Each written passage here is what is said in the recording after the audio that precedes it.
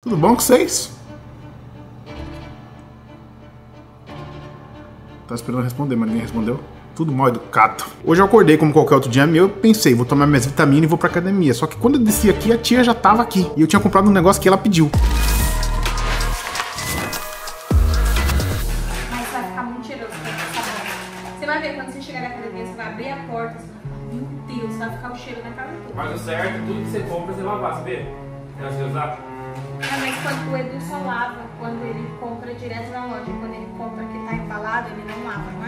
Isso.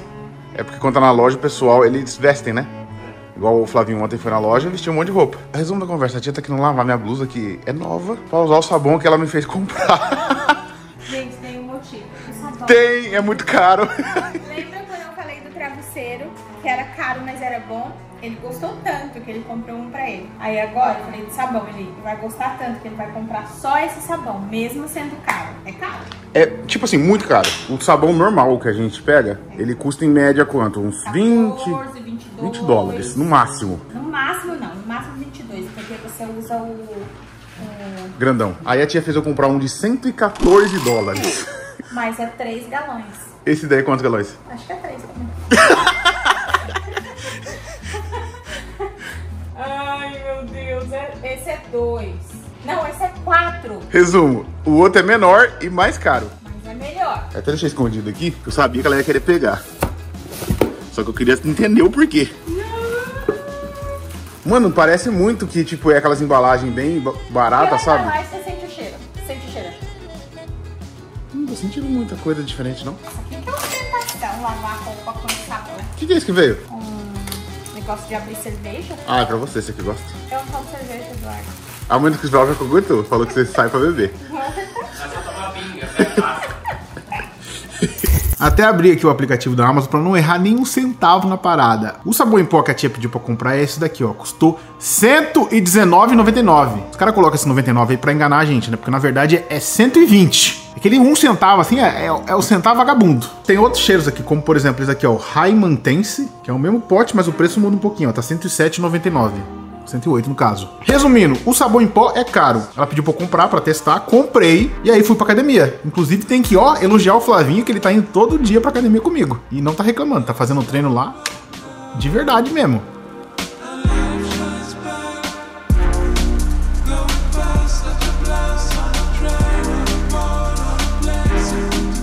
Hoje a gente tá fazendo costas. Tô aqui destruindo o Flavinho. E aí, gente? Quanto? Quantos foi? Sete. Então, mais, mais três. Oito. Nove. Dez. Onze. Que isso? Já parou? Você falou mais três. Aí meu cérebro calibrou mais três só. Não vai mais. Vamos mandar o quê? Mais o quantas aqui? Não, aqui tem uma última minha, aí depois a gente vai pra aquela ali. E aí a gente pode ir embora? Não, fazer Olha. ombro e bíceps ainda hoje. Parece que não, mas ó, o tamanho das, das goiabonas aqui, ó. Alô, Matias, é você?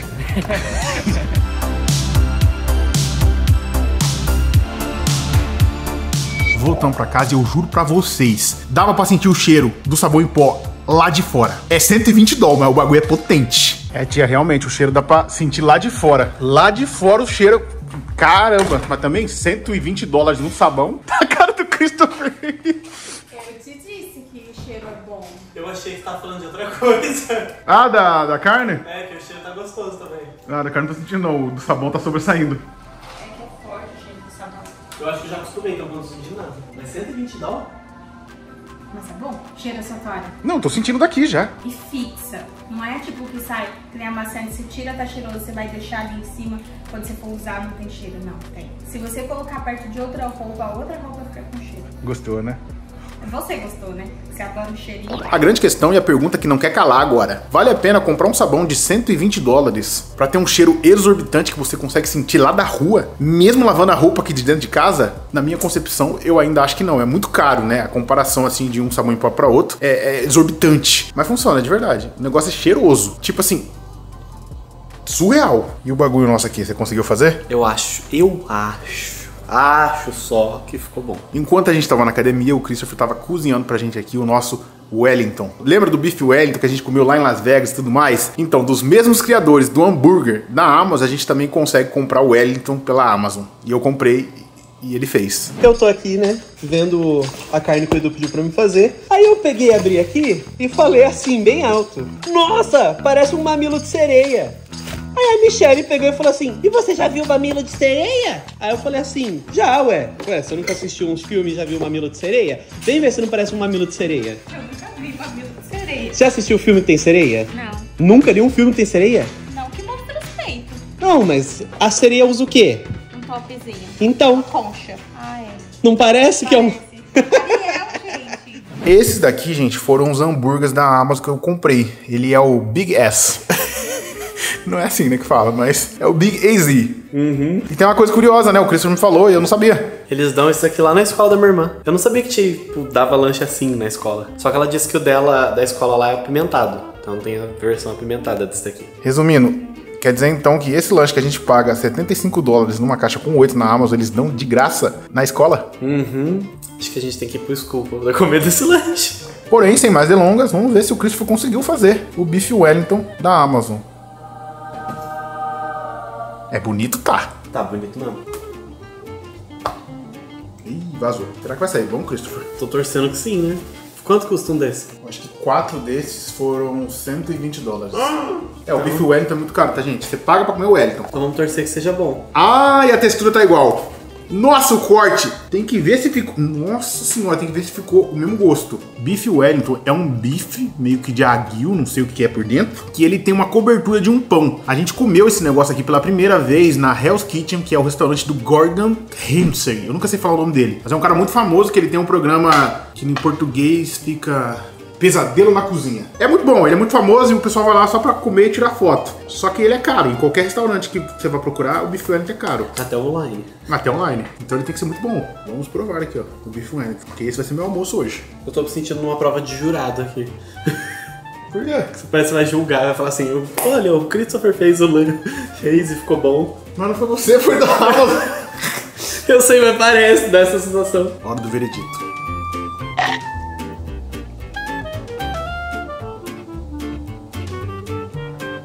Não chega nem aos pés do Hell's Kitchen. Mas é muito bom. Pode pegar o seu aí. Eu acho que é por, por questão de ser requentado, né? É, também tem isso. A gente meio que requentou. Tem que cortar com a faca da ninja, senão não funciona. Você vê que é bem molinho o bagulho, dá pra cortar com qualquer faca. Corta aí pra você ver. Seu garfo tá torto, mano. Tá me dando agonia. Por que tá torto? Tá pro lado errado. Normalmente quando você vai cortar, você corta aqui assim, ó. Ah, é que eu tava pressionando de assim, que eu não queria estragar ele. Você vai comer, Christopher. E ele vai pro seu estômago. Eu sei, mas aqui é, é mó bonito, olha aqui. Olha que beleza natural que ele tem. Esse é o Beef Wellington da Amazon. Vamos ver se o Beef Wellington do Jeff Bezos é bom. Mas não é dele, tá? Ele revende, eu acho. Mas vamos botar a culpa nele, ele que põe a cara lá.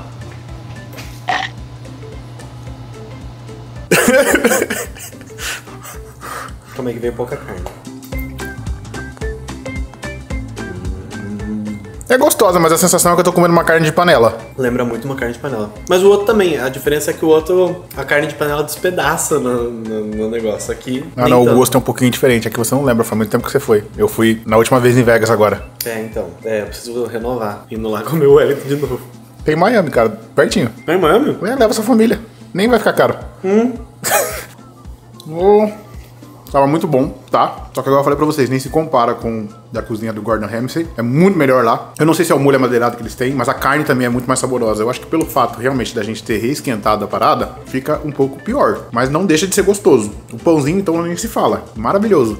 Tipo aqueles memes assim, o Nuto fala só uma colher de arroz, tá bom. Só uma colher.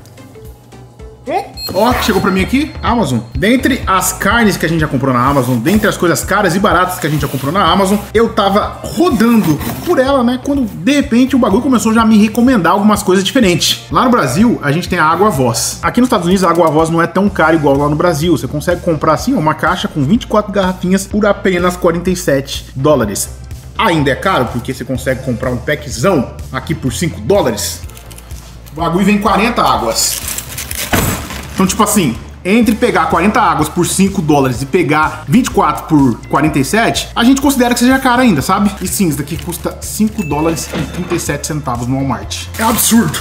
De verdade. Aqui ninguém bebe água da torneira, tá? Porque sei lá, tipo, a água da torneira não é muito legal aqui não. Muito cloro, sabe? Muito componente químico. Foi aí que a bendita da Amazon me recomendou uma água que chega aos pés da água voz que a gente conhece aí no Brasil. Apresento pra vocês agora uma das águas mais caras que eu já vi na minha vida. A água do iceberg. Christopher! pra não falar que o Educoff está mentindo e essa água aqui não veio de um iceberg, eu queria mostrar pra vocês aqui que uma garrafinha dessa aqui somente custa 30 dólares. Uma garrafinha dessa custa 30 dólares. Uma! Tá escrito aqui, ó. Não tô mentindo, não. Água do iceberg do Canadá. Essa água tem uma jornada que começou há 15 mil anos atrás em um incidente glacial da Western Clearland. Eu não faço ideia de onde fica. Ela foi seguramente estocada em uma cabine de gelo, protegida pelo oceano, em condições extremamente frias. Pra depois chegar aqui nossa garrafinha a gente beber em 5 segundos. Eu só tô tentando entender aqui quais são os benefícios dessa água. Porque deve ter alguma coisa assim sustentável pra manter essa água vendendo no mercado até hoje. Tem muita informação aqui que se alguém quiser ler, é só pausar o vídeo aí e traduzir, porque não, não entra na minha cabeça. Tá falando só aqui que ela tem um TDS muito dissolvido e sólido. Não faz sentido, gente. A questão é que eu vou beber agora pra provar e ver se essa água aqui realmente vale 30 dólares. Eu acredito que certas ocasiões exigem algum tipo de louça especial. Essa. Mano, não é possível que isso tenha alguma coisa diferente do que uma água normal. Tem um cheiro estranho. Parece que, sabe, que tava guardado numa caixa há 500 anos. Cheira, vê se eu tô louco. Podre, né? É que tava guardado numa caixa de gelo durante 500 anos. Desperdicei uma gota. 5 dólares foi embora aqui agora. Aparentemente está normal. Vamos lá. Senti mal cheiro de sabão da tia do que, do que da água. ok.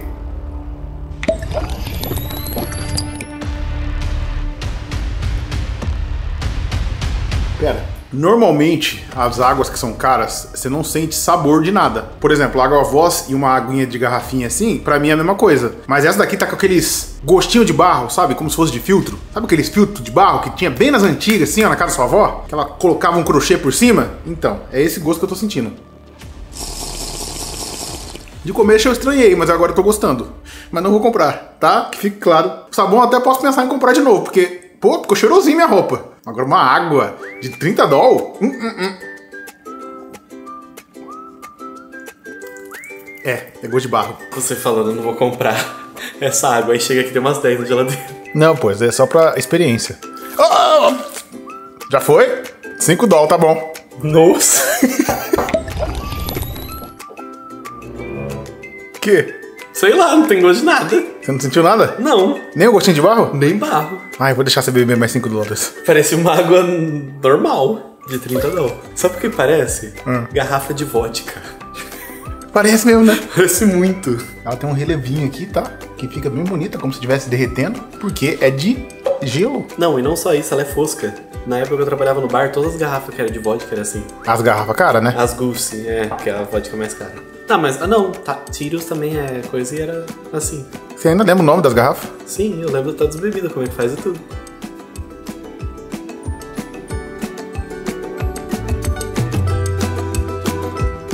Não sentiu. Não. O Christopher tava aqui o tempo todo enquanto eu tava provando a minha água, então, querendo ou não, a minha opinião meio que pode influenciar um pouco na cabeça dele. Vamos mudar um pouquinho pro Flávio provar, porque ele não tava aqui embaixo, e aí sim a gente vai ter certeza se realmente tem gosto. Porque depende de pessoa pra pessoa. Eu sou aquele tipo de cara que eu não bebo água em copo de plástico. Eu já acho que o copo de plástico deixa aquele gosto assim meio de óleo, sabe? Você lá comendo comida e. Come comida, aí fica aquele gosto de óleo, você lava junto com as outras louças, fica aquele gostinho assim de óleo assim na, na água, sabe? Então eu não gosto muito. Já o Christopher é aquele cara que bebe tudo, de qualquer jeito. Ele pega uma garrafinha assim, acabou. Eu gosto de gelo. Cada um tem o seu jeitinho de beber água, entendeu? Então, Flávio! Ô Alfredo! Agora escutou? Só um pouquinho, né? Hum. Cheiro, cheiro, não tem cheiro, tem cheiro.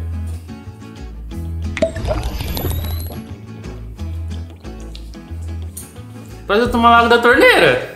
Ah, eu tô aqui. Parece que eu tomar água da torneira do Brasil. que a água da torneira daqui ia ser pior. Sinceramente, eu achei que teria um gostinho, sabe? A mais, assim, igual aquela a que você já me deu pra experimentar. Você acabou de beber água do vaso sanitário. Quê? Você- Você tá zoando, né? Você colocou água aqui dentro? deu Eu peguei água do vaso e coloquei pra você. Você tá zoando? É sério. É sério? É pra experimentar um novo filtro, que essa garrafa vai ter um filtro tecnologia avançada. Legal, peguei do filtro e colocando mais pra ele. do filtro não, do vaso. Isso é normal? Então, aí eu fui tentar brincar ali com a situação, ele já tava pegando mais e querendo beber. Não, eu vou, deixa eu ver. Tipo, tem um gostinho, sabe do que? Na real mesmo, agora eu vou falar bem sério, uma coisa bem de sítio. Parece água, sabe, água de, do rio, assim, que corre do rio mesmo, água quando é de mina.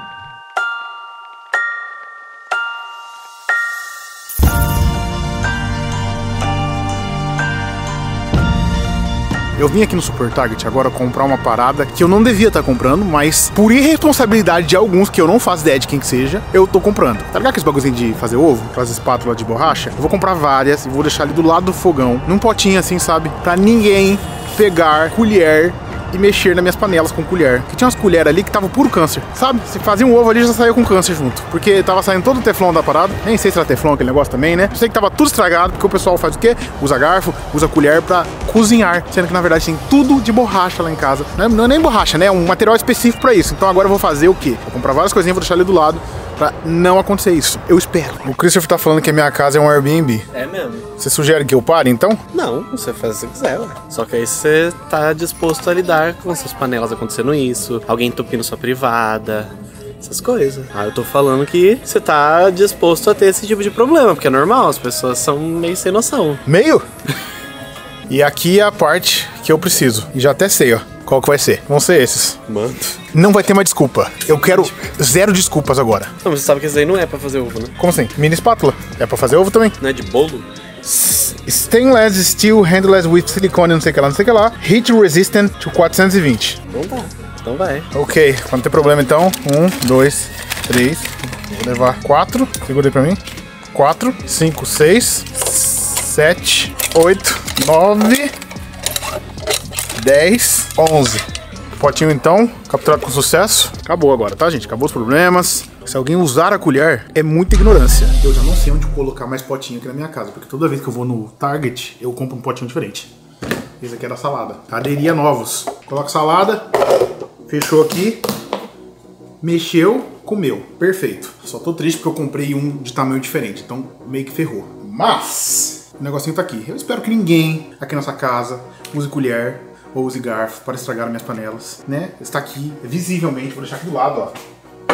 Então, por favor, você visita, que vem aqui achando que minha casa é um Airbnb, como o Christopher disse. Por favor, use o bagulhozinho de plástico. Não vai mudar nada na sua vida. Não me faça tirar todos os garfos dali de metal e colocar só garfo de plástico. Aí você vai ter que comer com garfo de plástico. Você quer comer com garfo de plástico? Então, por favor, use o bagulho ali de plástico para fazer o ovo. E o garfo somente para você comer. Senão eu vou ter que esconder esse aqui, colocar um cofrinho, e aí toda vez que eu for comer, eu pego o meu de metal, mas eu deixo ali o de plástico para todo mundo usar. Aí a visita vai vir aqui em casa, eu vou falar, para você aqui é o de plástico. Infelizmente, né, cara? É a vida. Mudando de assunto aqui agora, o que eu encontrei no mercado? Um Yummy Gummy. Não, Gummy Yum Surprise. É tipo um Kinder Ovo da gringa, né? Você abre aqui. Aí não. Ah, mas não. Será que é de comer isso? Caramba, é de comer! Não é possível. Quer comer, Christopher, pra ver? Se você morrer, aí eu não como. É bom? Não. Você tem que comer pra abrir o ovo. Tudo? Tem que comer tudo, ó, porque não tem onde como abrir o ovinho pra ver a surpresa. Tem que comer tudo. Aí, ó, você come toda a bala Mó ruim. e aí, e aí depois, e aí depois vem o brinquedo. Tô com agonia agora, eu quero abrir tudo. Parece fine, mas um fine, sei lá, ruim. Do Paraguai. Não é possível que não tem como abrir esse treco aqui. Abri. Aí aqui, ó. Mano, é o Kinder Ovo da gringa, velho. Ao invés de ter chocolate, tem, tem bala. O meu é um dinossauro. O meu é um cachorro, parece o cachorro da Target. Nossa, é, bom- é mó xoxo de montar, são três botões só. Aí, ó. Já montei o meu. Ai, caramba. Que sem graça, velho. Prefiro o Kinder Ovo, tá? Uhum. Aí, ó. Dinossaurito. Não parece o cachorro da Target? Talvez seja. Parece muito o cachorro da Target. Nossa, mano, como é que sem graça? Ele, ele, tipo assim, pra criancinha deve ser legal, sabe? Ai, a boca dele que eu não tinha visto. É isso que eu falei, tá banguela. legal, são quatro peças, não são três, igual eu pensei. São Eu quatro. prefiro Kinder Ovo, é mais gostoso. É mais gostoso e é mais interessante de E o montar. brinquedo é mais legal. Aí, agora sim ele tá com boca. Cadê o seu papelzinho? Tá escrito o quê? Tem alguma coisa escrito? Nossa, agora tá dando vontade de comer mais aqui. Hum, mas é ruim. Não, é que tá falando aqui. Quando os cachorros, tipo, os bebezinhos, né, cachorro, tem um dia muito difícil, eles dormem de 15 a 20 horas. Deve ter muita coisa pra um cachorro fazer, né? Às vezes ele tem que latir muito, proteger muito a casa. Eu cachorro entendo eles. bebê. Nossa, é mais peça. E o que o senhor jogou fora. que isso? Tem como trocar a cabeça dele? Não tinha aqui não. Ah, tá aqui, ó. Ah, o meu é um fóssil. O meu é um. Deve ser um osso. Deve ser uma tigelinha pra ele. Não, é um shampoo Que horrível, velho. Prefiro o Kinder Ovo. também. Achei isso daí no mercado falei, pô, vou levar. Deve ser interessante aí pra gente mostrar mais. É isso, gente. O vídeo de hoje vai chegando ao fim, mas eu espero que vocês tenham curtido. Qual foi a coisa cara aqui que você achou mais absurdo de todas? O, os bagulho aqui, como chama? Detergente? Detergente, tá bom? Detergente. Nossa, esse daqui foi o melhor disparado. Só que, velho, tá com um cheiro tão forte que eu tava com uma dor de cabeça. Eu nem sei se é por causa desse daqui ou é porque eu tô com dor de cabeça mesmo. Mas, tipo assim, pega. Tá com cheiro até agora. E aí, igual a tia falou, é provável passar pras outras roupas. Já a água, não tem nem que falar dela. Água cara, não tem nada diferente. Ficou horrível porque, cara, é água. Tem, tem, tem nem por que ser horrível. A questão é que a gente já tem que ir embora, né? Porque tá, tá- já tá de noite. Então, um beijo pra quem quer, um abraço pra quem não quer. Valeu, falou e fui!